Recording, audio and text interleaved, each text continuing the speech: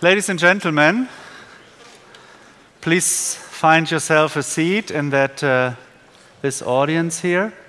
We like to continue.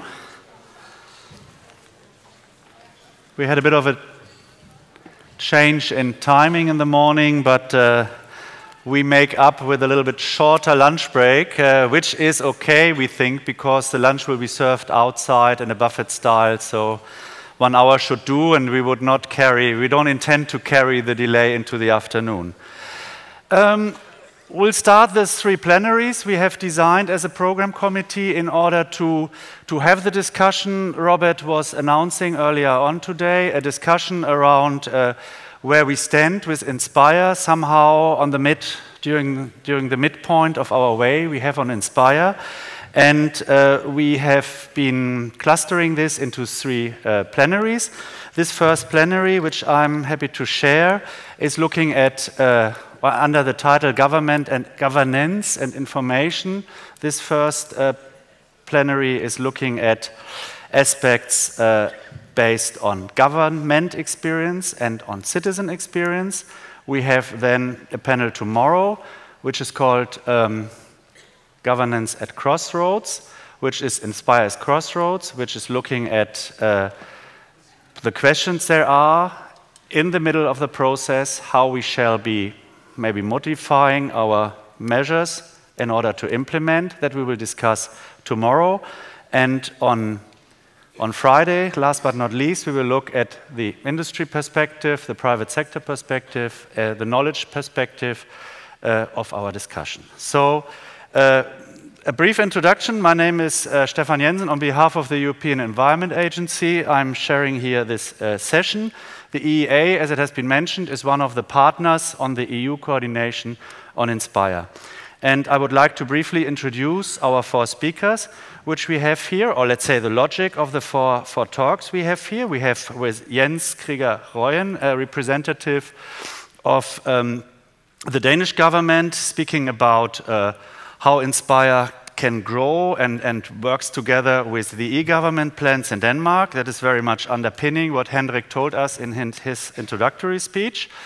Then we have Johannes Melles from Germany. He will introduce to us the marine data infrastructure, which is a rather broad initiative going out of the classical environment area into sectors, surrounding areas. Then we have a little swap. Uh, Jarmila uh, Cikánková from the Czech uh, Environmental Institute, Information Agency, sorry. She will speak to us about the Czech experiences from a government perspective.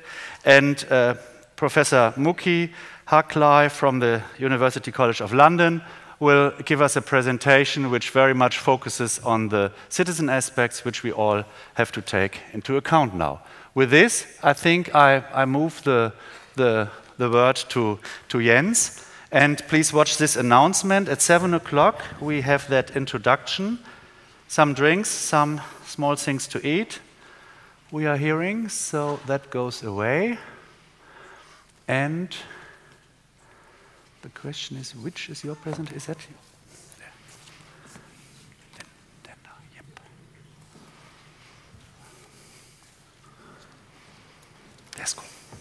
Thank you very much. Thank you very much, Stefan. Thank you very much for this opportunity to uh, share with you the Danish uh, Basic Data Program. Uh, I'm especially delighted to be here because, as uh, you probably all already uh, have picked up, uh, Inspire and GeoData means a lot in the Danish e-government program on, on basic data. Uh, what I would like to uh, use this opportunity to is to uh, shortly put the Danish Basic Data Program into context. What kind of reform is it that we are working on? I will uh, uh, elaborate on shortly on what are the components of the Basic Data Program, and then I will move over to a discussion on, uh, on the governance lessons learned from that data management program.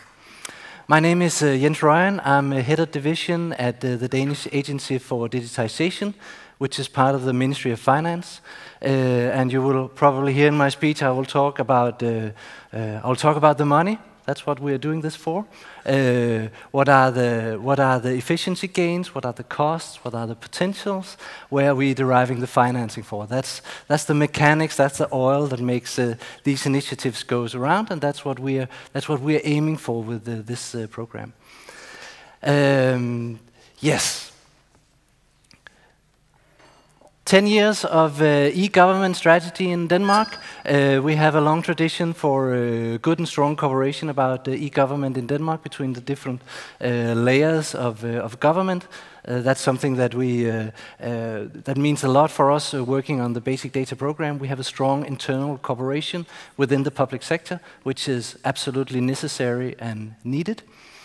We have a very strong uh, political mandate for the digitization in Denmark. Uh, I'm pleased to say that uh, digitization is seen by our government, by our Prime Minister, by, from our Minister of Finance, as digitization is one of the prime tools for making the public sector more efficient, deliver better service, and keep it modern and lean. So it's not, it's not fringe, it's not nerdy, it's uh, hardcore making this business of the public sector work. And that's why we're doing it. So we are running uh, for, to solve some of the big issues in government, which of course is uh, uh, austerity. We need to save money. It's uh, lack of people, lack of hands, lack of skills. How do we handle that? It's competitiveness uh, for the Danish society in this uh, global world. How do we use digitization and a digital public sector to support these premier goal of, uh, of the government. And we also have a strong uh, cross-parliament uh, support for this uh, effort on digitization. Uh, in the current uh, national strategy for digitization, we have three main strands. the first one called No More Printed Forms and Letters. you could also call it Digital First. We are making it mandatory for citizens and businesses to communicate with the public sector in digital means and also to receive digital letters from uh, the government. Of course, there are some groups that are not, not able and they can be accepted, but by rule, it is digital by default, and we are implementing that uh, large scale right now. The second strand is uh, new digital welfare. Uh, the big cost in a, in a vast welfare state as, as the Danish is, of course, uh, health, social, education, and we can use the modern technologies in much more innovative and effective ways to uh, deliver more service. It's not a question about saving money, that's hopeless, but to deliver more service with the same resources. We must use technology much more doing that. That's the second strand. The third strand, and that's where uh, uh, the program that I'm coordinating is uh, placed, is uh, closer digital co collaboration in the public sector. We are integrating the public sector much more uh, for the digital age. That is by legislation and very much by data. We have a growing understanding that what we are looking at, at in the next decade is the data-driven public sector a data-driven society. We have digitized almost all aspects of our public sector. We have an IT system everywhere. And what we're doing in this century is that we are hooking them up, making them uh, related, uh, make uh, cross, uh, cross-government processes uh, automatic and, uh, and possible with huge gains. And I think actually this data-driven public sector is a common effort and one which also very much uh, underpin Inspire, and we take this perspective to a whole of government and actually to a whole of society level. And that's where we, that's where we place the basic data program. 2012, as part of this uh, digital, new digital strategy, we made this uh, sibling, uh, Good Basic Data for Everyone, a driver for growth and efficiency, which is our uh, program foundation document for uh, the program that we're working on. And as the title said, we want to provide good basic data, good basic data as in good enough. You may ask, what is good enough? And that's one of the key questions, and a continued discussion. Uh, basic data, the data that everyone uses, that is important in many places in the public sector. You may ask, what is the precise definition of that? It has escaped us so far, but it's uh, very easy to know when you're talking about basic data or what should be basic data. And then finally, for everyone, we're seeing this as something that we're doing with a focus on the public sector, but we're doing this with a perspective on the whole of society. A driver for growth and efficiency, we see this as an important part of keeping the Danish society and the Danish businesses uh, competitive and productive in, uh, in the decades uh, to come. So we had this uh, political agreement 2012 that we should make this basic data program, and uh, that's uh, that's work that we are in the middle of right now. Just to delve into just a little bit more, what did the agreement said? Uh, we are making uh, investments of approximately 125 millions uh, going to 2016. We give open access to all these basic data, free, free open data, except the personal sensitive data, of course. We are establishing a common solution for distribution of these data one of the things that we are handling in, in economically, technical, and uh, legal aspects is availability, to ensure high availability of these basic data. I'll come back to more about why. We are making a series of initiatives in these areas, real property, addresses, geographic, individuals, and business data. I'll say a little bit more about that. Uh, and very much importantly for the discussion that we're having now, we have established a cross-institutional governance model. We have a basic data board which reaches across the state level, the main actors on the state level, and also the regional and the municipality level. So we have this common governance of the program, of these initiatives, where we try to coordinate and make these uh, initiatives uh, uh, be well coordinated. Uh, and we have uh, opened the door for that this may be a program that will expand uh, in the future. But currently we are busy making this first batch work. Uh, just a little bit more about what is what is the basic data. Uh, it is basic data in uh, in these areas. It's basic data about the individuals. Our persons registration are very important. Our business registration, uh, is of course extremely important. Real property, addresses, roads and areas, and maps and geography. In these areas we have defined, that's where we have the basic data, and the basic data are the most important, the very much used data in these areas. Uh, and we have more specific lists underneath, but that's our scope for the basic data program. Um, one of the key features of this drawing are the arrows between the different areas, because historically Denmark has a high level of quality in all of our registers, in our cadastra and our business registry and so forth. But these has been uh, silos, monoliths, uh, their own registry with their own legislation and their own formats and their own needs, and they have been standing side by side. But when we, as Henrik Studsgaard mentioned, listen to the users, they say, we use your data in uh, together.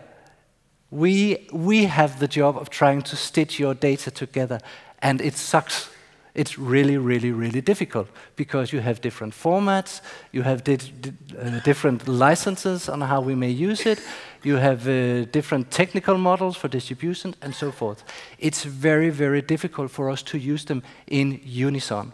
So we have said, okay, we set out the ambition that we will create a basic data a basic data set which holds all of these data and that they are coherent. So that's what the arrows between means, and that's of course one of the big data management challenges that we have in the basic data program, where we share a lot of challenges and opportunities with the Inspire program with what you're doing. So that's, uh, that's the basic data program in its scope, and then just to say, how do we, how do we look upon these data domains? What, what, what must they do in order to be good enough to be basic data? And uh, with a little hindsight, we have formulated these uh, five stars of basic data, which we hold up and look at our basic data areas and say, are they good enough? One, it must have sufficient quality to the major uses of data. Key here is We must understand the major uses of data, and they must have sufficient quality. That is not stringent, that is not mathematically, that's not logically, but that shows the discussion that we have between the users who need the data and the producers who uh, provide the data and who have the cost. We have to balance the needs and the costs. So sufficient quality, and it holds a millions of discussions into what is sufficient quality, and it is always uh, evolving. We have right now a big discussion about taxation on real property.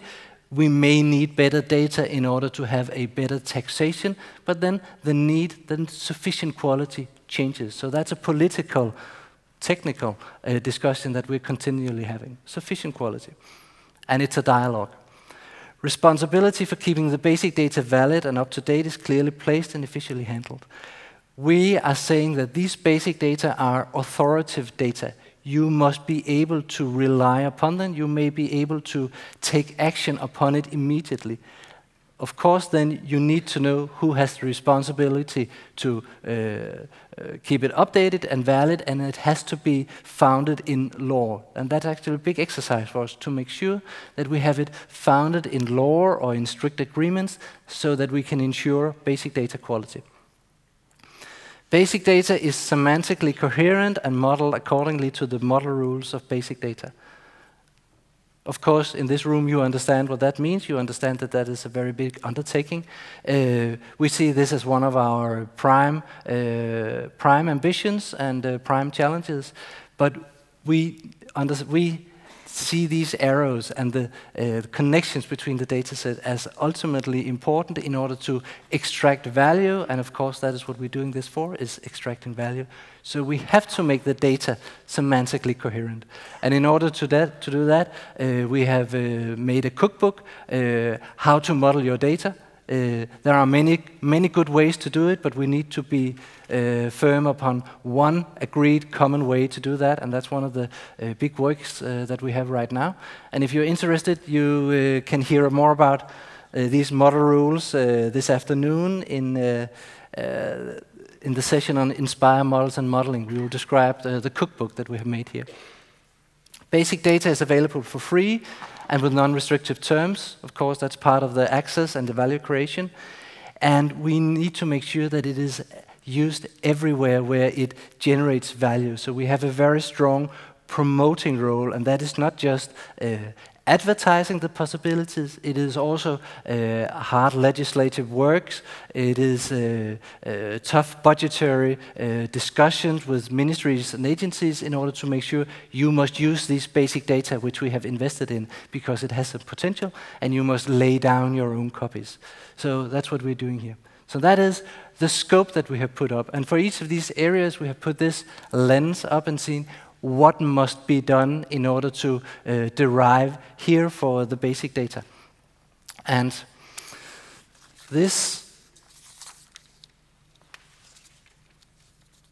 I'll just, yeah, I think I'll just skip that and just say, um, we are, that's, that's where we are right now. We have defined the project catalogs for each of these basic data areas described here, was, what must be done. Uh, registries must be reorganized, data must be moved. We have to make data wash, improve data quality here and here and here. Uh, we have to remodel our data here and here. We are in the middle of this implementing process of the basic data program, started uh, last year, 2013. We are in year two, and our ambition is to have realized the projects and the ambitions set out here by uh, 2016.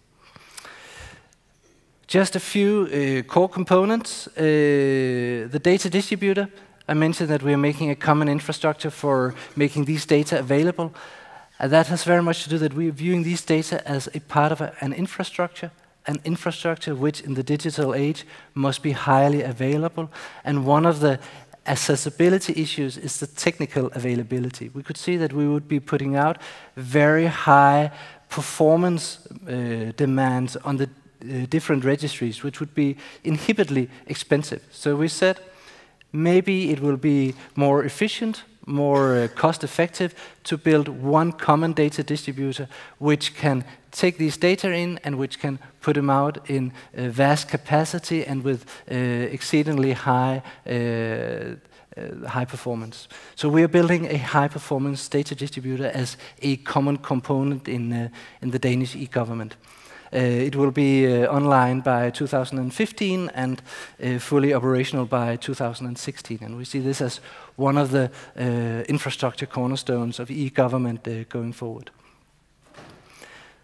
As I said, we're redesigning and integrating the data models with uh, an ambition about having put, be able to put out the basic data across all these domains as one data model where the user does not have to be interested in where the data coming from, who has made them, uh, how do they model their data. We're doing it in one common way so that we can integrate these data.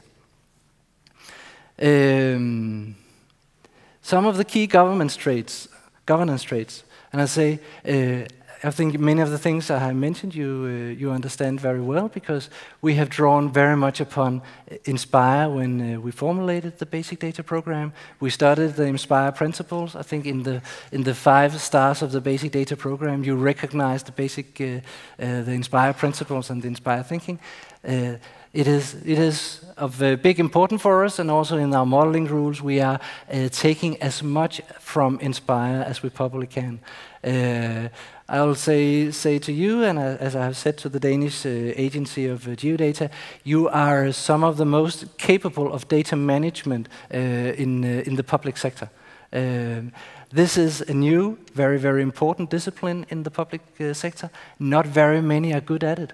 The agencies of taxations are better at it than most uh, because they have many data, uh, but none, none are as good as you are. That's one of the reasons that we're drawing a lot of uh, inspirations from you in uh, data management. Key governance traits, governance traits in the basic, basic, uh, Danish Basic Data Program, embedded in a tradition of strategic and operational cooperation that is very much necessary. This is not a technical endeavor. This is about a lot of lot of people, a lot of institutions that has to align about a common goal uh, and common standards and common methods. This is a change program, not a technical program. It is sponsored by the highest political level and governed by a high-level board. Uh, we have seen just in our program that we are hitting many roadblocks, which we cannot just uh, handle by, by talking, but where we also need to uh, uh have some hard-nosed discussions and also take some unpopular decisions. You need to have a mandate to, uh, to clear the roadblocks that you meet, otherwise it takes so lot, long time. It must be guided by business cases and public sector efficiency gains. The only way that we can keep momentum and interest and remove the roadblocks is by the importance of this, not for uh, some perspective, but for some very, very important near-term economical gains, also long-term e economical gains. But we have to show the business case. We made the financing upfront. Uh, this whole program was financed in 2012. All our activities are financed, which means that we don't have to stop and discuss the financing. Also extremely important, uh, and I know very, very difficult. One of the things that I think is remarkable is that with the ba Danish Basic Data Program, we are not really, we haven't really found some new problems. Almost all the problems that we have solved and made agreements about was long-standing issues well known, and many of the solution was also well known. But we needed a framework to come together and solve these uh, in the same time.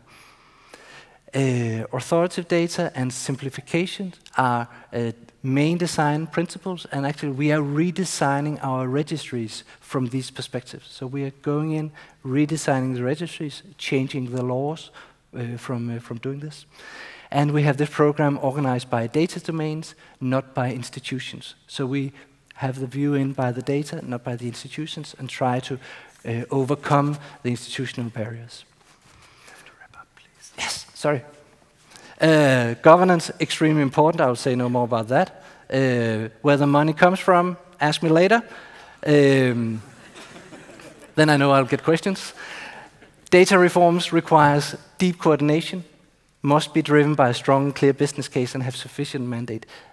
This is very, very difficult and has so many layers from semantics to law to institutions to budgets. And you have to make, you have to be able to coordinate the whole stack. Otherwise, you will get stuck. That's what we have experienced, also the hard way. We need to balance the need for the common overview and uh, uh, the autonomy of the different registries, and we have to have a vision and a goal that is simple, large, and holds something for everybody. And now my last statement. Our goal, which we are trying to set forth and which we uh, see is uh, engaging people, is that we're trying to make an efficient and a coherent basic data infrastructure for all that is underpinning a data driven public sector. And when we get people on board on this vision, many things can happen. Thank you. Thank you very much.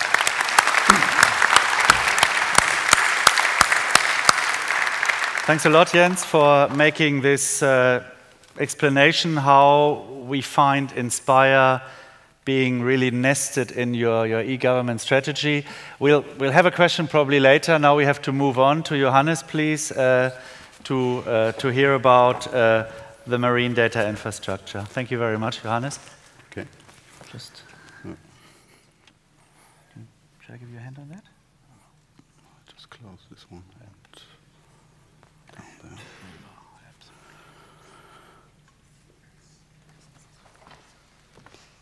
Okay.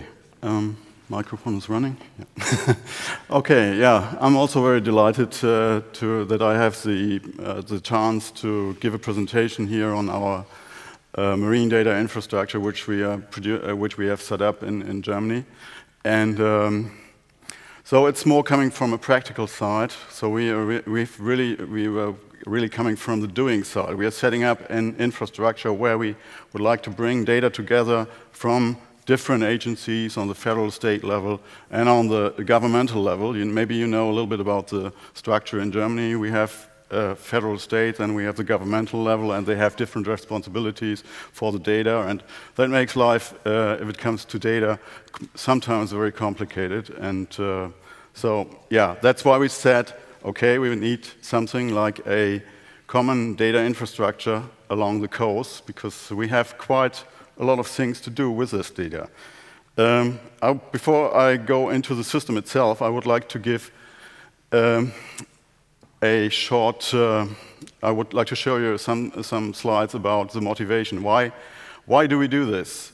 If you, if you look at, uh, at the German coast, it's uh, a fairly small area compared with other countries. Um, so we have our EEZ and the, uh, the, the, coastal waters is not too big, but we have 18 agencies which are responsible for data in this area. 18 uh, uh, agencies which are producing data within the EEZ and the coastal waters. And um, so we have to bring all these, uh, these agencies coming from different uh, levels of administration uh, under one umbrella. And that was, that was a big task we had to fulfill. So, um, first thing was to bring the data together, but we also were looking in what, what, what do we need that data for? What, what do we want to do with this data? It's, uh, so one, one thing I already uh, brought that up is, is Inspire, obviously. So we have, we have to provide services and uh, viewing services and download services and so on and so on for Inspire. But that's not all. We also have the law of the sea conventions in, uh, in, the, in the North Sea and in the, in the Baltic Sea, where we have to provide data to. That's OSPAR and HELCOM. And another big framework directive, directive which is uh, causing especially our environmental agencies uh, quite a lot of headache these days, uh, is the Marine Strategy Framework Directive. And uh, so these are, from, our, from my perspective, these are the, the, the more important uh, systems where we have to provide data to. But we have a few more, and you can see. Uh, I just, uh, I don't know if this, uh, if this list is complete. I, I, just added what came into my mind where we have to provide data to. So, and if you really have to cover all these different systems, uh, then it is is not possible if, if uh, these individual agencies uh, do it on their own. You need a common system uh, to do this. You, you really have to combine forces uh, to, to, to provide data to these systems. Um, yeah, as you heard, as you already have seen, we, I'm coming from from the wet side, uh, not from the dry side. It's um, so um, quite a lot of people. Um, I don't want to go through the, through this list with you. Everybody knows that, but quite a lot of people just think, okay, uh, if you go to marine uh, areas or to the seas, uh, where is the, where's spatial data in these areas? There's uh, quite a lot of people really uh, say, okay, we have hydrography, and then uh, define an area, put a name to this area, and that's it. But, and in the, in, as a minimum, we already have these two uh, themes within, within the INSPIRE um, directive, uh, oceanographic geographical features and sea regions. But what, that's definitely not all. What we all had to address in, in our marine data infrastructure in Germany was all of this. Everything which is already marked green here on the screen, that is something we have to address also on the wet side. It is really, we have to provide data for quite a lot of different themes there as well. And that is what we identified in our project MD, or in our system MDIDE. There are other uh, agencies as well, and we, we are not sure about these uh, orange ones. If some of them, at least, I'm pretty sure that we have to address them. But, and if you then look at the list, there are only uh, five themes left, which uh, are not addressed by the marine side. So it's what I, want to, I wanted to make the point that, okay, the marine side also has to provide really a lot of data to, to INSPIRE, and uh, so it's, uh, it's a quite big community with big data sets with a lot of data.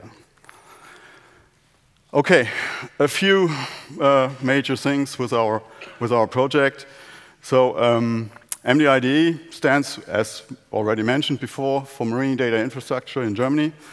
And uh, it is a super, super, super international network uh, for the integration of marine data from all relevant data sources. And relevant data sources in Germany means that is the national institutions and the federal institutions. And we also would like to add uh, scientific data, which is coming from, from the research organizations. And uh, so that means we have these three levels of data which are coming into the system. The system itself should form the national marine and coastal information system. So um, it has a central geoportal where you can uh, look at the data, where you can download the data, and so on and so on. Then we have a central metadata catalog. We have uh, local, local infrastructures, uh, infrastructure nodes, which are providing the data. So it's, it's very similar to the approach which was chosen by, by INSPIRE. You have local, uh, um, more or less small SDIs, or spatial data infrastructures, which provide then uh, services to a central, or not, not central, to a, um, yeah, let's say to a point in the middle where, where they collect all these things, where bring these brings, bring these things together and make it useful, useful or usable uh, for, the, for, the, for the user. Okay, we started off in 2010. Uh, the project was funded by the German Ministry of Education and Research for, for three years. And uh, since uh, April this year, we have a cooperation arrangement between all the partners. That means between the federal states and, and the governmental agencies. So that uh, gives us at least uh, some, some financial basic, ba uh, basis where we can uh, really go on. Um, this is the network as it stands now. We already have quite a lot of, quite a lot, quite a lot of uh, agencies involved in this, in this business. Uh, so we have um, if you look, look around here, we have these different nodes. These are all little infrastructures uh, which were set up within the project and where, where people produce data, make that data available uh, within the, the complete MDIDE system. So that is, uh, then we have a, a, central portal, we have services we are harvesting the metadata. So the metadata uh, will be produced by each individual um, node, and uh, we just uh, taking this data and making it in a central metadata catalog available. So, and we have other things like thesaurus and gazetteer and uh, things like that. So, yeah, this is the network we've set up, and uh, it's an open network. Everybody who has can provide data to such a system here is an open node. With which allows, if, if the people follow the rules, then they just easily can join and easily can provide data by using MDIDE. Okay, I would uh, come to one point uh, where we made some experience during this project or during this uh, setting up the system, marine data infrastructure. Eutrophication. Eutrophication, for some of the people around here, may uh, make some um, sense uh, is, is one of the descriptors in, within the Marine Strategy Framework Directive. And uh, so what I said in the beginning is this is quite a big problem for the federal agencies. And so it became one high-level task within our, within our project to provide data to this, uh, to this uh, Marine Strategy Framework Directive. And um, so we had to face the problem of uh, interoperability between the data, harmonization of data. Um, the, the, the, data was uh, produced by, in this case, by, by uh, five different organizations, and they all have their own data set. They use, they use their own way of measuring the data, they use their own way of uh, uh, presenting the data, they use their own way of uh, they have their own limits for, the, for, for some, some values and so on and so on. That was uh, quite, quite complicated to bring these, all, all these things together.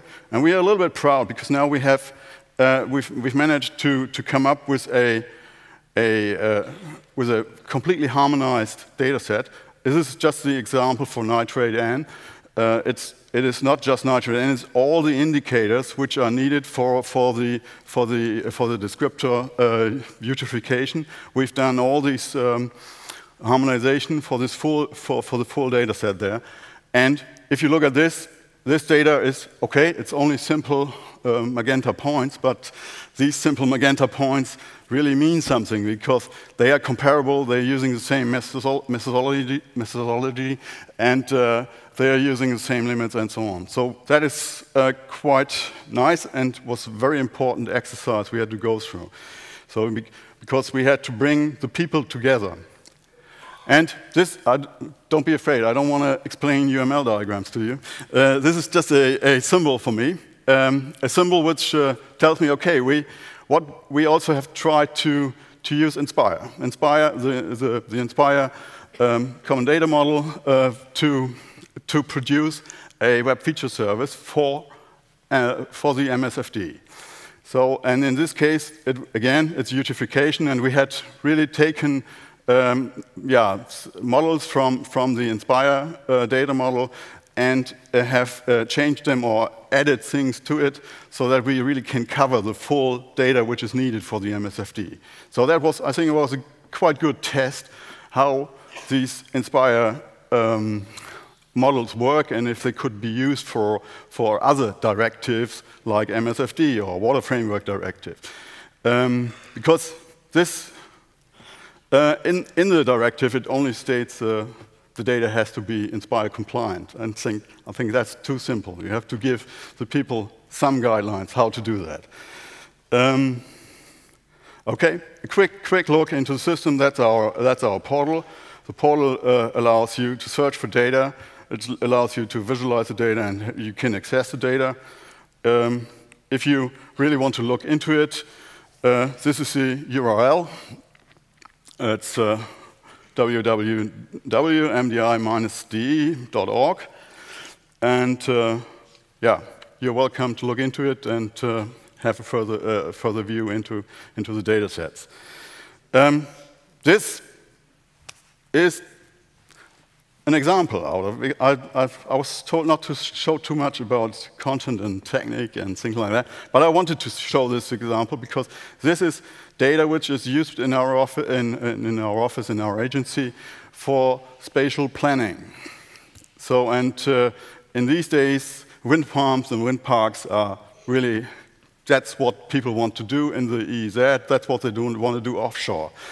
And uh, to do that, they have to get the approval from our agency uh, that they can do it in certain areas. And this is what, what we use to give them the approval. And this data is also used by companies and uh, the private sector to, to provide information to us uh, where to build things and uh, how does it uh, conflict with other things.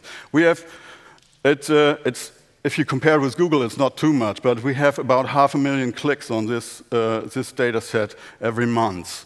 That is, um, I think, for a, a, a, data set which is coming from a very a specific community, that's quite, quite a lot, I would say. So that's why I just wanted to have a quick look into this data. We have an, our second one is, uh, is, our geological data along the, along the German coast. So there we have sediments and all that stuff and you can add where does this data come from, profile lines, boreholes, and so on. Um, another thing, if you talk about marine data, uh, it's uh, quite often we are looking into a, a fourth dimension because we are, it's, it's the data is, or it's the, the the, the medium we are working with, water body and all things, is dynamic. So that means we have to, to keep the time domain uh, in, into account as well, and that is quite difficult to represent that in a two-dimensional way. It's, uh, it's uh, quite difficult to bring that into a map style somehow, and therefore these people who work with this data quite often they like they like uh, having having uh, diagrams. They have, like to have vertical profiles, horizontal profiles, or here is a horizontal profile. It's not the time dependency, but a depth dependency in here. Um, that is a, a, temperature profile through the Baltic Sea, so that is quite, quite nice. Uh, if you would like to get more information about uh, our system, you're welcome to look into our website. It's embedded into the, into the portal, so you can just, just use the same URL. Uh, but I have to admit, uh, it's at this stage it's only available in German, but we are working on the English so on, on, an English version of it, and so it will be available very soon.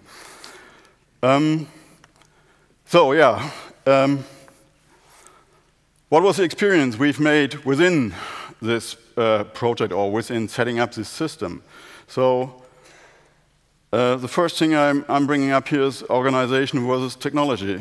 So we've, we've made, the, uh, we recognize technology is fairly easy. It is, uh, you, you really um, need the computer experts. You, need, you can log into the, into, the, into the data stuff and things like that. The, more, the bigger problem is how to organize this. The bigger problem is how to bring the people under one umbrella, how to, how to work together and how to come to a, a common thinking in, in, in, in, doing things. So how to follow common principles, as you quite often uh, state in, in the Inspire context. So that was, was one of the big things, and we had to learn within the project because we, in the beginning when we started off, we said, oh man, a big, big technical issue. And, uh, but uh, then we had we recognized, okay, we have to do much more work on the, on the organization. So partners have to be on the same level uh, on the technology side and the thinking, well, that's what I said. Uh, harmonization, I already uh, stressed that in one of my slides before. Licensing of data, it's, uh, it's one of the big issues again. Uh, there are still quite a lot of people around who want to make some money with their data, who want, really want to earn money with the data, and um, they are like I was quite impressed by the present presentation from our Danish colleagues this morning, um, that it has, has some value for the economy, even if you, if you really give the data away for free. You, don't, you, you get more out of the data when you get it, give it away for free. And for us, it is quite important uh, that uh, we are really trying to work towards uh, getting uh, open data and free data in, in such a system. Yeah, and uh, it was also mentioned quite often already today that uh, the user requirements, the user has to come into play uh, much more as he has been in the past. The user is defining what, what is needed. The user has, has, to, has to really define what, what kind of information do we need to do things. Another thing is, the last point on this slide, and then I jump over my two next slides, um, is, yeah, it's quite, quite helpful if you really have a use. If you say, okay, like what I presented before, if you say this data set which is used for, for um, giving the approval or doing the spatial planning in, in the EEZ, this means this data is, has a very specific use, and they really can tell you, uh, for this use, I need this and this and this and this and this information. That is, from my, from my point of view, that is very, very important. If you really have a task where you want to go to with this data, then it's, uh, that is quite, quite helpful, and then, then people are motivated and people really can see where, where is this going to. If you, uh, theoretical use cases from our point of view are not really not sufficient. So you really need a task what to do with the data. Okay. Uh, okay. So that was a quick jump. I can. I, now I want to like, make my last point here, the last slide, and then I stop. Um, I think we have a lot of criticism on, on uh, how Inspire works people really, uh, yeah, arguing with a lot of things. Uh, the guideline, technical guidelines are too complicated, nobody understands it, and uh, things like that.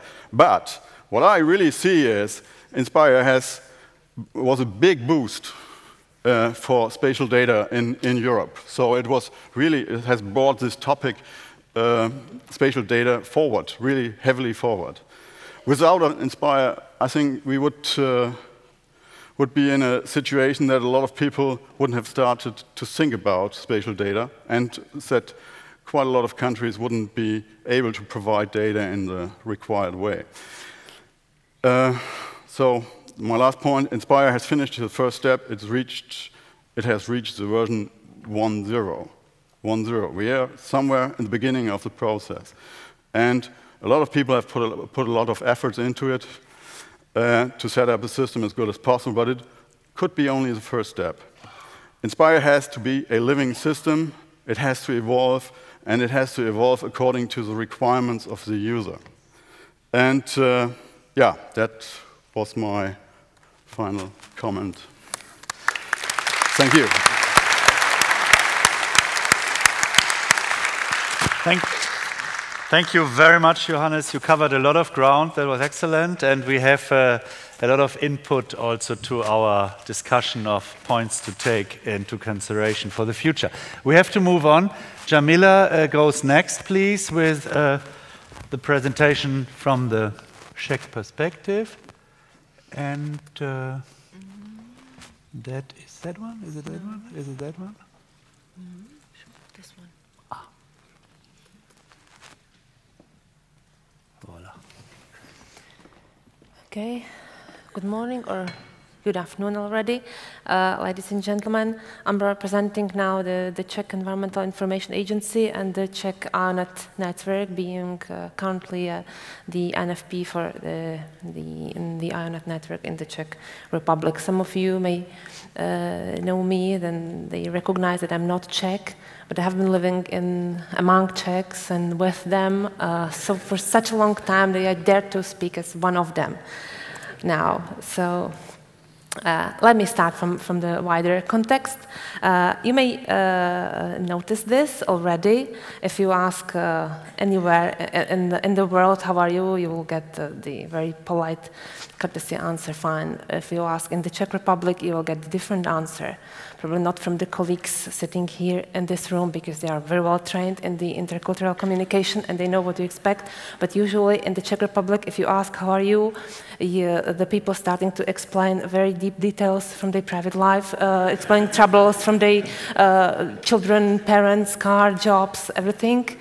Uh, so you, you, may be confused from this answer, but the Czechs are really very direct, and if you ask directly, how are you, they explain how are they nowadays. So just for explanation that uh, asking different answers, you may also uh, get the unexpected uh, answers. So let's start with the question regarding INSPIRE. If you ask about the transposition of uh, INSPIRE directive, then we can speak uh, a lot about months and months of work, uh, of technical and legal experts. Uh, then uh, we can speak also about the uh, interrupting about troubles making from, by the politicians, and also we finally thought we uh, transposed the directive uh, successfully, but we, we get a notification from, from the Commission that in, the, our transposition is incomplete. We tried to explain that it's just uh, uh, just misunderstanding. We just use different terminology and different translation, but nevertheless, we uh, finally we got an announcement that we are in an infringement in the beginning of this year. So the question whether we are successful or not, uh, you know, we think yes, but Commission probably will think in a different way. As regards the implementation, so that's the other story. We can also start to think uh, or to speak about the uh, about the, the, metadata and the data, about the indicators we provide uh, to the Commission regarding the implementation. And we, uh, if we say, uh, if we think about the metadata, we can see the, the, huge extent of metadata, also with the huge extent of use of services. It's an example from the cadastre uh, data. As regards the data, we also had a quite large involvement in data specification testing, still some harmonization still at ask, but nevertheless. And as regards the stakeholders, we have uh, plenty of contacts in the Inspire mailing list, and we also have, uh, for, for, such a small country like the Czech Republic is, so we had also uh, plenty of responses for the Inspire evaluation questionnaire. So, success story, yes, but I have learned from, from the uh, new general director of the EA that the disagreement should be, should be present not yes but, but yes, yes and. So now it's a yes and. But what's the problem? We see that Inspire uh, so far uh, in, on our level is still not implemented because the government wants it. There is no pressure from the government side that they need the data and that they need to have them Inspire compliant. It's just because Commission wants it. So what's the problem? Does the government don't need the data for making policy? Of course they need. We hope they, they need the data. and do we offer them the right data? Of course, we, we are. We are experts. You know, we know the, what, what, they, what they need for us. So yes. So what's the problem? Do we offer the data in the right form? Maybe this is the way uh, how to speak about it. So let me have an example. I have a product here. Do you want it? You don't know because you don't know what is inside. So I have to describe it precisely. So I did. So do, do you know? Do you want it? You still don't know because uh, if you are, if you don't have the master degree in chemistry, you probably don't know what hell it is. So even if it is very precisely in standardized form described. So whenever I see this, do you want it? still not probably, but from this moment, you can clearly recognize the use, uh, user group who will use it, and the, those user group, if you if you offer it, then they will use it exactly in the in the format they should do. So uh, we have several groups of our users. We have needs, and we also have the uh, capability of use. So in the, in the bottom level, we have GIS experts, which, which are, they are very capable and they, they can use Inspire complaint data services, everything in perfect form. But do they need it? Yes, probably, but only if all those uh, groups up, uh, about them wants it. Otherwise, they will just play with the tools. They, they, know they don't need them from themselves. As regards the research, some of researchers probably trained uh, or even educated in, in uh, spatial technology, so they can use the, the spatial data uh, in the Inspire compliant form, but most of them probably not. As regards the politicians, so do you know any politician able to use G ArcGIS or, or any other tools? Probably someone from the Pirate Party, but there are only a few of them. So, and as regards the public, there's the same story. So there are really uh, some misconception between the needs and the use. So what's with this? Needs versus offer. I can see it in this way. We offer, or the, the need is the chair. Someone needs a chair to relax or to, to look at the FIFA uh, World Championship. And what we offer is this way. So this is the way Uh, so everybody can make a chair in this way. For someone is able, but someone not. So we are not in the wrong way, really. It's just what we offer is just not enough. The key and the manual and the box is not enough for everybody to be relaxed. So what is enough? Enough, what we think it's enough, enough there we have applications which are not simple, they are advanced, but they are simple for the end users how to use them, to be able to, uh, to offer the right, right data in the form the users need them. So, of course, this is nothing which, which we in the Czech Republic have discovered last week, as uh, we have, uh, or all, many of us uh, are involved in the, in the many projects, uh, thinking in the same way. Let me have an example. We had an ACES project several years ago when we created the, the, back, uh, the not best, the good practices catalog.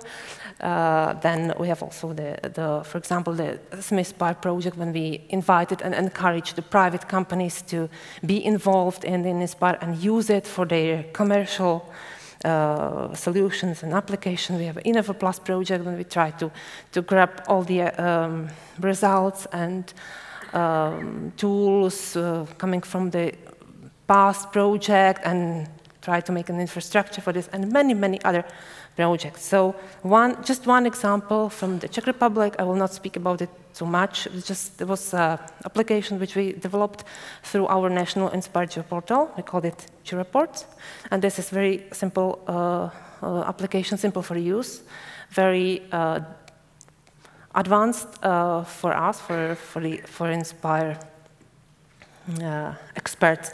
So this is application which allow user to uh, uh, get the information for uh, solving real life situation. For example, there is a situation, there's different uh, environmental topics. We have, for example, this is the water. So if, if you, as a citizen, for example, wants to build a well near your house, then you have uh, to, to solve a lot of administrative problem. You need a lot of information, how to do it, uh, to whom ask, to, to whom ask for the permission, and, and, and everything. So uh, this tool allows you just answer very several very simple questions, and will give you all the necessary information. So run the GeoReport building the well. You can see the picture, even you don't understand Czech. So the only uh, thing you have to do to answer several very simple questions. First of all, click on the map where your house is, where the well should be built. Then several other questions with the well, how it is big, and so on. So several other questions. And then the report is, uh, is being processed and the user will get this as a part, part of GeoReport. It's a PDF format with the map and all the necessary information. The information uh, comes from uh, very deep GIS analysis, which is behind this, but the user cannot recognize, even don't recognize that there's any GIS data behind it. Just he, give, he gives an, an information and he's happy. So uh, we, uh, we developed this, pro, this uh, tool within the National Inspire portal. Now, with, uh, within the eENVplus project, we try to extend it as a cross-border uh, application just to be able to use it also in the Czech Republic. So it also is not simple. There are many troubles regarding this, but I'm not spent so much time. If you want, we can speak it about. So, from uh, my perspective, Inspire is not the goal, Inspire is the way.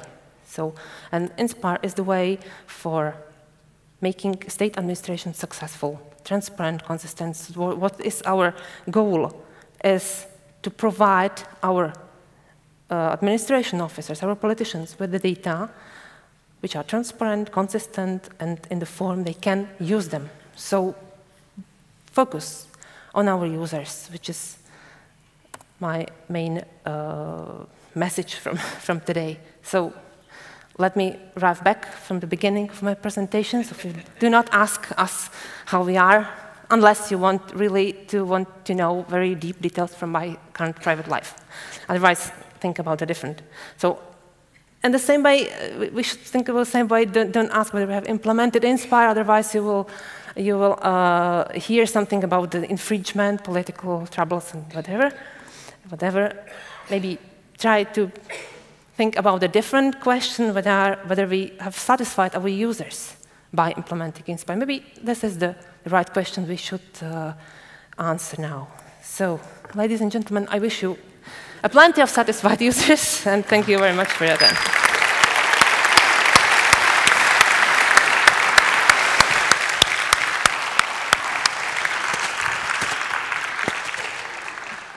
Thanks, Jarmila, for this extremely illustrative presentation. A uh, lot of interesting points, also on the legal side. I wonder how the lawyers can digest that. But uh, we come to that in another context. Last presentation, last but not least, Muki will tell us about uh, a bit a new angle, which you yeah. can read all over there. On crowdsourcing. So this presentation is made together with Claire Ellul, Dr. Claire Ellul from UCL, who is my local Inspire expert. And we kind of decided that as something towards lunch, it needs to be a bit of provocation. So think about the other aspect. What, we, what I will kind of cover very quickly is an argument that there were three eras of access and use of environmental information. And the third era, which we're just entering, is actually creating a, a challenge that need to be thought through and integrated into a new area. So I'll start by describing those eras very quickly. Then I'll move to describing a bit this whole area of crowdsourced geographic information and citizen science and look at the challenges for Inspire framework. So when environmental information started somewhere in 1969, uh, around the 70s, and the kind of end period is a bit shifty, you had expert, you had decision maker, and you had the public. And the view was that experts should deal with the information and the public should just listen and do what they are being told.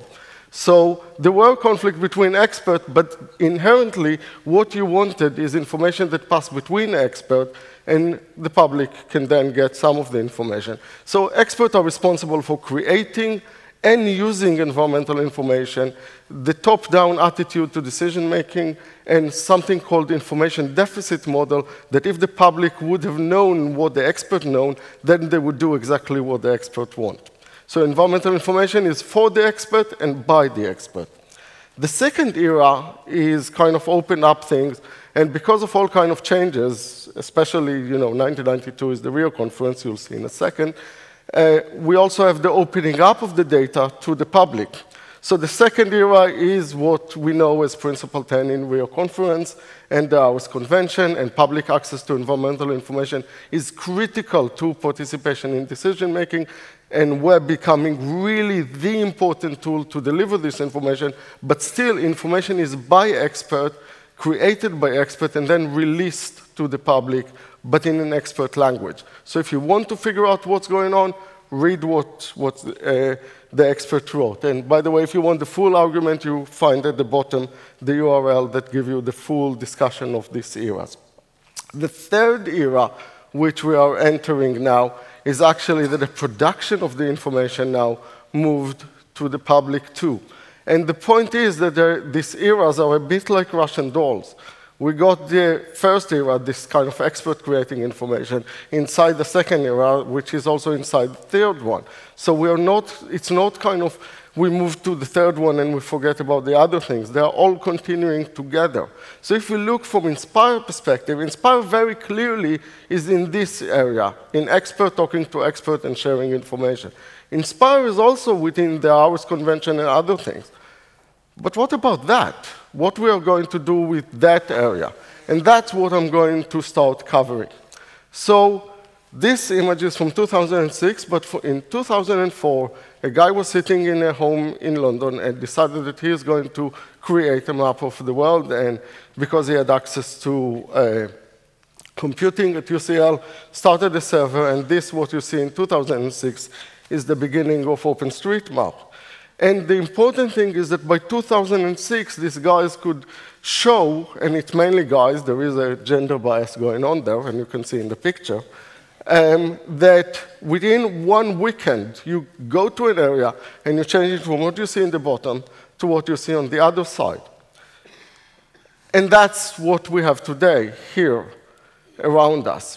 Now, we now have 10 years of mapping of the whole world, but the paradigm of creating the information is very different because inherently you don't have anyone to call. There is an organization called OSM Foundation. Go to the website, you won't find telephone number. You will even find that there is no one employed. So this kind of paradigm of creating information by an organization that then deliver the information you can put on them regulation or ask them to do things is just not there. And while there are examples of transferring OSM data now into Inspire compliant data, and there are really lovely things going on around, we need to also think on the organizational aspect that changed dramatically. But it's also changed around the environmental information itself. So that's a citation from Jackie McGlade, who was then the head of the European Environment Agency, and saying that the information should come from citizens because often the best information comes from those who are closest to it, those that got access to it. And indeed, one of the first projects that she launched at the same day was WaterWatch, which is structured information gathering from the public about uh, water quality. But that is just part of this whole phenomena of citizen science, which, because of the internet, is now sometimes called citizen cyber science. And it's got implication for biological observation, for using computers in a distributed way, for people classifying different things, for people doing DIY science, and other aspects. But let me focus specifically on aspects that are relevant here.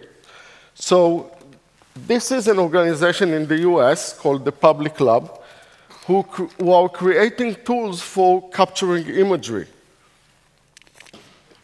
So you buy a kit for about $100 or something like that. And you go around your neighborhood and you create high resolution imagery.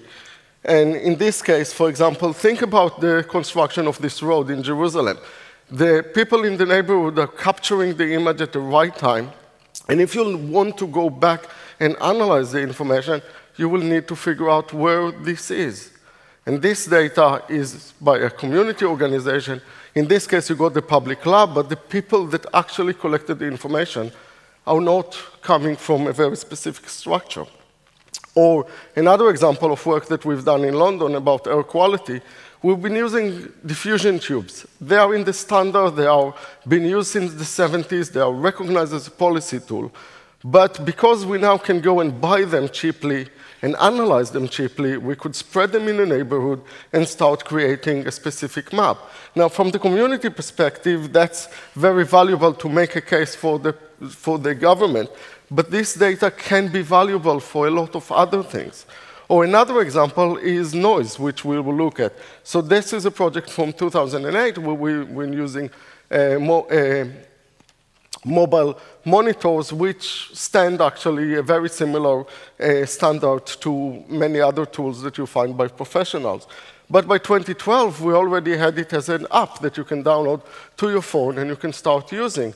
And through a workshop around Heathrow, we could start collecting the data, and this is what it looked when we started it, and within a year, we got thousands of measurements from many members of the communities, and then that data, we will see in a minute what the problem that we're creating. But this stuff is not just me saying the whole community of doing that bottom up all over the place. It's actually part now of the European Environment Agency work program, where it explicitly says that Part of the uh, topic that will be covered are initiative concerning lay local traditional knowledge and citizen science. That's the stuff that is coming in. And of course will come the, the data quality issue, which you know, came also in the morning. But what we have to remember that we need to think differently about these things. All kind of assumptions that we had when we worked inside organizations don't work anymore.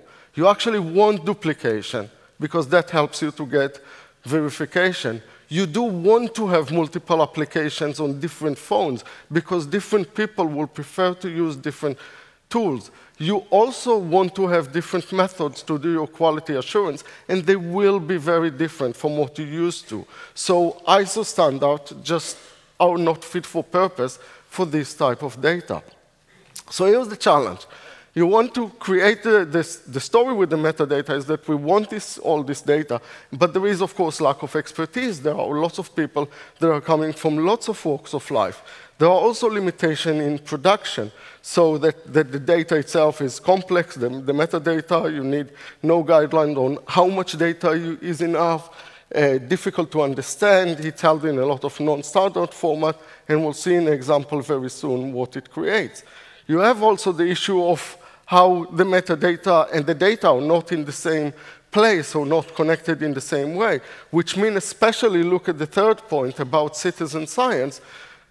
People will think about what they want to collect. They will do the data and the metadata according to what makes sense of the project. Even if they are working in a governmental organization, not necessarily they'll know about Inspire or what metadata should be there. And that's the coupling is, we'll see in a minute, create issues with that. Of course, it's also the issue of metadata not used by uh, end users, and all this understanding of qu data quality and fitness for purpose is important.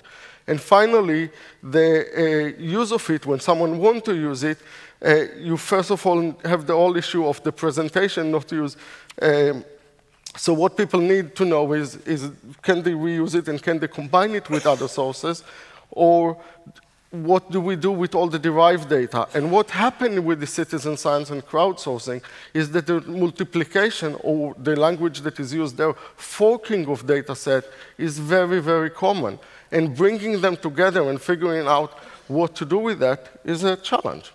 So let's look at the scenario. You are an environmental consultant or let's say a community activist that want to get the data and you want to get information about an area of London called Deptford. You don't have specific GIS training or expertise, so you never heard about Inspire. And you identify three maps of noise, all online, all available to you, and now you want to choose which one you're going to choose from. So let's move back to era one, and we see three data sets. Data set A, it's very clear to you that it's created by a community organization. Data set B, coming from the uh, Department of Environment and Rural Food and Rural Affairs, so government body. C came from a European project that I showed you earlier, EveryAware. If we are in era one or era two, what we say is that B, of course, is authoritative, C may be next to it, and come on, I'm not going to use something that came from a community you're starting to try and figure out, but you, you don't know all these things, and you're trying to find authorities. So what you notice is that there is some data missing. Uh, you know, there is data about Deptford, about the area in all the maps, but it doesn't cover the whole area. There are gaps, and there are more gaps in, uh, you notice probably in A and C, but, you know, B, the government one, looks very homogeneous. All of them, when you look at the legend and try to understand the information, all look like they give you the information about where is the high level of noise, something like 70 dBA. So then you start diving in and you're trying to understand things. You then discover that map B is actually not based at all on actual measurement. What's more, it's actually saying on the tin that you shouldn't use it for that purpose. So off gone the authoritative data. Then we look at C. C doesn't have metadata coming with it because it's a European project. But you do notice that once you look into it, you see things like, for example, the date when it was taken, you see the place, you see all sorts of information about where it, it, it is. But what you don't see and what you won't find immediately is, for example, this type of information. The fact that the community map information was taken by these noise meters that were bought in a local hardware shop, and actually they are quite good because we know we tested them in the lab later on. Then there are different apps that are running and you can download on your phone. NoiseTube, the one uh, that you see over there, in the, that one, is the only one that got internal calibration. And even that just for specific phones. So the likelihood that most people that use it haven't used it calibrated. The Environment Agency Noise Watch is not calibrated. And WideNoise, the one that was used in EveryAware, you can see the graph over there about the performance in the lab compared to a type A, class A uh, noise meter. So which one do you trust? Turn out that the community one is the most trustworthy information about your area. Now, that is going to happen more and more.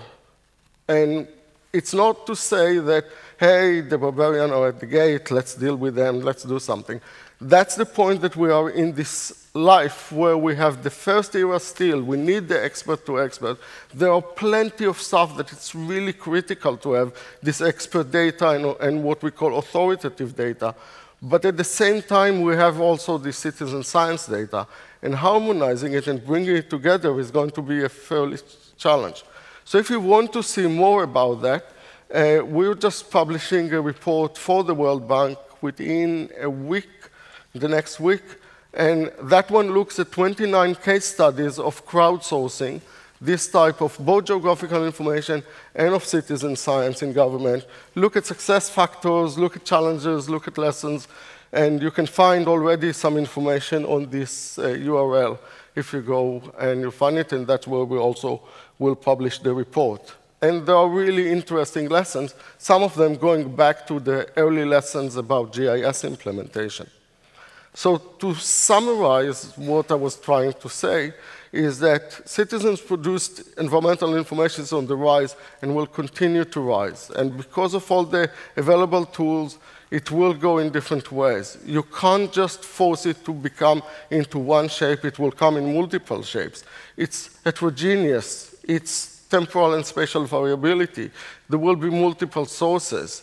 How we deal with that and how we integrate it, because what it turned out that also a lot of environmental observation that we always relied on came from citizen science. We used to ignore it and decide that if it came through scientists that, that vetted it, that's fine. But birders, for example, across Europe are critical for observation about bird pattern. And they have a very specific spatial pattern. For example, weekend bias, which means that a birder is more likely to do observation over a weekend. Not a surprising thing, but once you know that that's a citizen science data, that need to be part of your analysis and part of your understanding of it. We need to understand that there are different procedures, there are different organizational structure, there are different practices that are going on. And those all considerations that we'll need to figure out within data management of this information.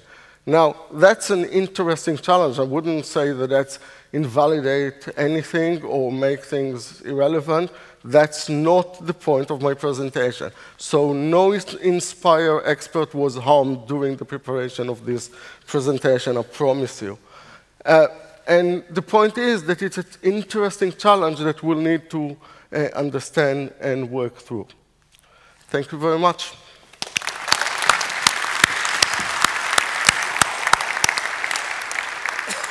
Thanks so much, Muki, to open up our discussion also a little bit, since the session had also this information label in the headline, to, to reflecting the new things which, happening, which are happening while we see the social and cultural challenges and changes in our society.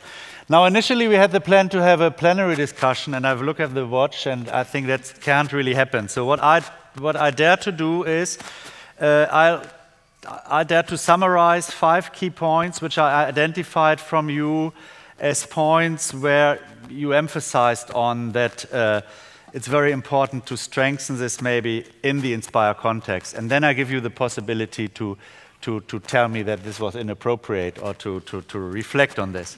So, and those points pretty much came through in most of the presentation. And one of the points is open data being important. We may have to address this further. Licensing issues has been mentioned at least two presentations is an issue. Coordination. We still have to do more on coordination. That was coming even from the well organized Danish presentation from the start, that we're not quite there yet where we want to be. Be needs driven. Look at real use cases. We have done that a few years ago, looking at use cases. Maybe those use cases are not so relevant anymore. Maybe we have to revisit these things. So let's be more needs driven, even. Communication communication is very important. We have other communities out there which, which, which match up with Inspire, which we bring in through big projects like the European Union Location Framework, for example, and we have to share best practice of our implementations and so on. And Muki gave, us, gave me a fifth point, uh, which is about, let's say, fusioning of data. I mean, citizen, the citizen as a new kind of sensor. I mean, the sensor discussion is all over. So, so citizen as a sensor, this has a value, and the citizen has also a value on helping with the data quality, I think. We have been partly addressing this in the earlier session, that not everything may be fresh and finished with data quality and Inspire. So I think if we emphasize the citizen aspect, that could help us a bit on that. These were the five key points I was taking from those four presentations, and I would like to go around here the, the row and ask you, is that a proper reflection? Maybe you add something. Please go ahead, Jens. Thank you very much. I think uh, the summarization is uh, very good. If I may add another one, I think uh, uh you, you may recognize that Inspire holds a, a, very big resource, very many high quality data, many methods of very high value for the rest of society. But I think in, in the business cases and the communication, you may consider going a step further and offer uh, Inspire as a partner because everywhere you look in society, if you see a big uh, business transformation in the agricultural area or in the transportation sector or anywhere, anywhere, there is a data management project underneath. You do not, you do not make business transformation without data management. You have a unique resource, and very often your data will be or could be play a very big part of it. And I think when talking about partnership, it's not just about advertising. We have good stuff, come to us, but offer yourself as a partner, understand the needs, negotiate the needs because the transportation sector probably is overlooking something, uh, maybe uh, enticed to change their needs, and also could tell you what you need to improve in order to make this business transformation work. So inspire as a partner in, in societal transformation. Thanks a lot, Jens. Jarmila? Yes. Uh, thank you. I would agree with, with, uh, with your uh, summary. I would emphasize the, the point regarding communication, because I think the, this is the very uh, important point just uh, to communicate with our users, which uh, I realized from my long-time uh, knowledge working in, in the working in the public uh, for the public authorities and, and working with, with users and, and the public, providing uh, environmental information. And sometimes EU users don't ask for the information just because they don't know what is available. So they, they really don't, don't, don't know that so all the sources, all the, the things are available, so they don't ask. And we, we, don't, we think that they, they don't need information, they're not necessary, but they are necessary. We have to somehow to advertise uh, all the work we, we did, and then, then we will see uh, how our users will, will ask for them. So Thank you, Jarmila. Uh, Johannes? Yeah, um, I totally agree with uh, your five points uh, you've already made. And uh, I would uh, like to add another one as well. Um, I think one of the important things is uh, to make the use of Inspire and uh, the whole thing to work with Inspire, to make that far easier. It's, it's uh, to work with Inspire at this stage is uh, quite complicated and is, it's, it is something which is only, or is, in most cases, is only done by some experts. And not in any case you have experts available. This, we are dealing with, with, with data which should go into the public. It should be easy accessible. It should be easy to provide data. So we're coming back to the communication thing as well. So it should be quite easy to, to provide data, uh, data to a system like Inspire. And uh, I think that is quite important to make these things easier and uh, bring that more into a mainstream uh, as, as, as, uh, as a new thing. Thank you, Johannes. Muki? Um, and regarding the point that you raised from my talk, I would say that, that it's wrong just to view the citizen as a sensor. We need to think about this, the citizens as partners in data creation. As you said, with the quality, which is spot on. But what, what does it mean to actually the expert who are creating the data and managing it is that people would like to do these things. Who would think that, that in 10 years, you know, project that started continue to create maps all over the world and do things like that. The, the potential is out there, and it should be that, that different experts should start thinking of themselves as facilitators of these activities. Thank you. I mean, you're absolutely right. I would like to, sorry, of course, I mean, we were just encouraged here about participation of citizens, but I mean, you will certainly understand that we cannot go into the round of questions now to the audience. I apologize for that. We will have probably a second opportunity tomorrow in, in, in the next plenary session to come up with burning questions. Uh, I would like to thank the panelists very much. I would like to thank the patient audience, and I have a partnership, ish, a partnership point here. And one of our uh, strong partners in Inspire would like to make a little announcement here. And I try to be helpful on that Stefan, don't here worry about the slides. Um, ladies and gentlemen, I'm Dave Lovell, Executive Director of Eurogeographics, the association that represents 60 national mapping and cadastral authorities in Europe. And looking around the audience, I can see many people who've been to many Inspire conferences I've got a well kept secret that I want to reveal to you. Today is the most exciting Inspire conference ever. I know that because the executive director of FGDC has come all this way to see what's going to happen next. And somewhere in the room, I think, is Ed Parsons, and I think he's come here also to see the most exciting thing that's happened to Inspire yet. Because today, Inspire gets taken to the next level and immediately after this session is closed, the launch will happen of the European location framework that takes Inspire to the next level. If you heard um, Ivan DeLoatch's presentation this morning, this is the geospatial platform for Europe, and you are all part of it. Please join us before you have lunch, because going without lunch for another five or ten minutes won't kill you. Thank you. Thanks, Dave. Thanks for encouraging this uh, contribution and uh, please take a look and that's how it looks like in the moment. Uh, in a few minutes it looks different, I think. Crowded. Have a nice lunch, everybody. Two o'clock, there are parallel sessions. I understand there are the floor up, up, up here.